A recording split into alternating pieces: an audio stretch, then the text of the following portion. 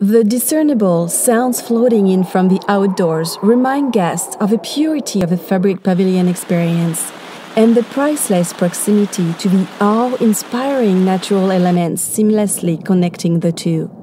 The soothing sounds of ocean waves, a trickling stream, chirping crickets, and hooting owls elicit a strong connection to the natural world.